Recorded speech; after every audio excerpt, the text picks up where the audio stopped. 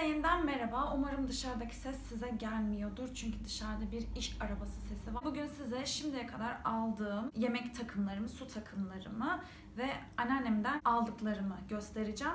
Aslında bütün yemek takımı, işte tabak, e, bardak ve çatal kaşık anlamındaki her şeyi aldım. Ama bunlardan üçünü bekliyorum. Biri günlük su takımı, günlük kaşık çatal takımı ve bir de kahvaltı takımı. Kahvaltı takımını ben e, normal standart bir kahvaltı takımı olarak yapmadım. Çünkü e, birazdan göstereceğim bir set var. O seti aslında biraz o şekilde düzenlediğim için bu kahvaltı takımını Karaca'nın Morakon serisinden toparladım. Onun parçalarıyla bir kahvaltı seti yapmaya çalıştım. Aslında ilk başından beri Portland'ın e, Hope serisini çok seviyordum. Be Happy serisini çok seviyordum ama Instagram'da görüyorum ki herkes onlardan almaya başladı. Şu dönem evlenen herkesin evinde neredeyse onlar olmaya başladı. Bu durumda beni rahatsız etti. Hani biraz insanlardan farklı bir şeyler olsun diye uğraşıyorum. O yüzden onları almaktan ya da kahvaltıyı onlarla birlikte düzenlemekten vazgeçtim. Çatal kaşığımı da Emsa'nın Lisbon'unu aldım. Çok standart, sıradan. Evet onu da son zamanlarda alan çok insan var ama o benim çok istediğim standart, düz ve e, şık, narin duran bir şey. Onun dışında çok fazla bir şey kalmadı. Alacağım işte tekli büyük servis kaşıkları var. Büyük servisler işte o işte kepçedir, şeydir falan, süzgeçtir. O tip şeyler var. Onun dışında da şimdiye kadar aldıklarım zaten bunlar. Onları size masa üzerine göstereceğim. Masanın üstüne anlatacağım. O zaman başlayalım. Öncelikle bu takımla başlamak istiyorum. Mudo'dan bir araya getirdiğim takım. Bu takımın şu an kendine ait bir tane fincanı var. Bunu hem kahvaltı takım yani günlük kahvaltı takımı hem de normal akşam yemeği için düşünerek aldım. Bu normal e, akşamları Evren'le benim ikimizin yiyeceği yemek takımı olarak düşündüğüm yemek takımı. Aynı zamanda da dediğim gibi kahvaltıda da e, kullanabileceğimiz bir bir tane fincan takımı var. Şöyle yine çiçekleri fincanın etrafında. Fincanın tabağı. Bir tane büyük kase. Bu hem çorba için hem de konfleksler için biraz daha uygun olur diye düşünerek bu şekilde büyük bir kasesi var. Bir tane çukur tabağı var. Bir tane pasta tabağı ve servis tabağı var. Bunların e, hepsi 6'şar tane, 6, 6 kişilik olacak şekilde yaptım.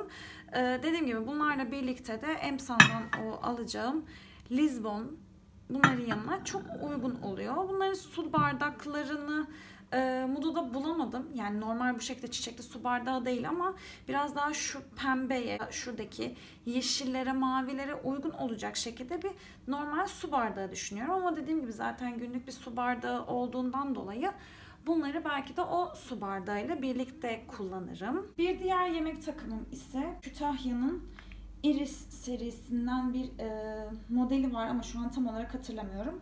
Bu ağır misafirli yemek takımı yani böyle hani herkese çıkmayacak olan yemek takımlarından e, su takımını çatal kaşıkları tamamen tabağa göre seçtik. Çünkü ilk aldığımız şeylerden biri de bu tabaklardı. Tabakların parça sayısının çok fazla olduğunu hatırlıyorum. Çünkü bunlar e, suplalı şeyler, tabaklar. Bir tane kasesi, çukur tabağı, pasta tabağı, servis tabağı ve kendisine ait bir suplası var.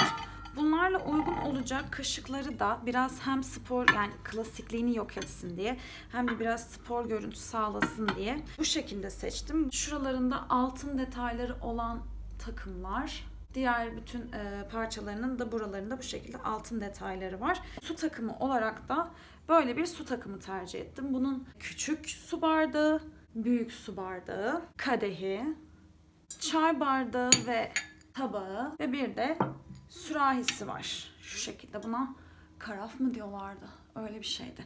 Ve bir de böyle sürahisi var. Ee, yemek takımının aynı zamanda işte tuzlu karabiberlik küçük fincan takımları işte Türk kahvesi fincanı, e, ortasında büyük bir kasesi ve kayığı var. Bunlar da anneannemden aldığım, herkesin evinde kesinlikle bulunan Kıbrıs'tan gelen yemek takımları. Herkes bunu Kıbrıs'tan gelen yemek takımı olarak biliyor. Bunun şu şekilde bir tane çukur tabağı, pasta tabağı ve servis tabağı var.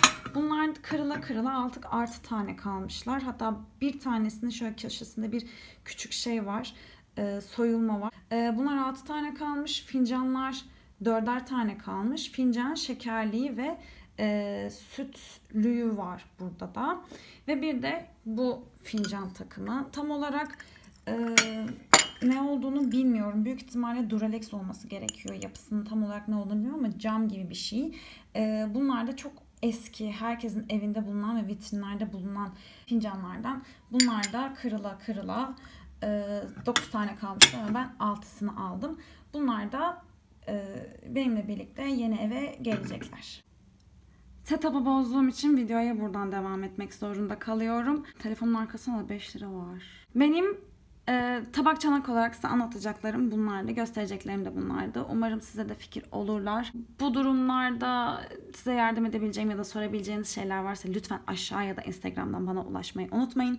Videoya beğendiyseniz beğene tıklamayı ve kanalıma hala abone değilseniz ki bu beni çok üzer. Abone olmayı unutmayın. Kendinize iyi bakın. Hoşçakalın.